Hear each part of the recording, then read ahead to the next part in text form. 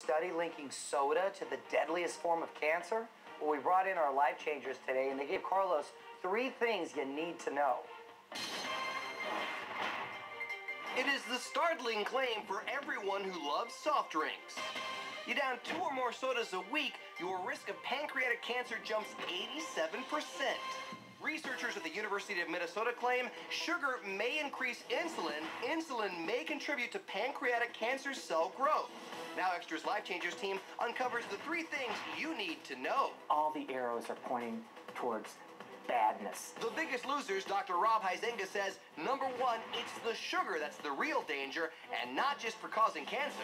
As you take in all this sugar, heart disease, stroke, on and on and on. Dr. Andrea Pennington specializes in the treatment of diabetes. She says, number two, don't think juice drinks are a healthy alternative. They are loaded with sugars. You're better off fresh squeezing or eating a whole fruit yourself. And number three, beware of diet drinks. So what about diet soda? Diet soda's not that much better. It may tickle something in the brain where it's going, hey, I tasted that sweet stuff, but I didn't register any calories in the stomach, and therefore the brain may go out and seek more food at the end of the day. Soft drink companies insist other research shows no link to pancreatic cancer, so extra friends, will the study stop you from drinking soda? I think I'm going to cut back altogether from now on.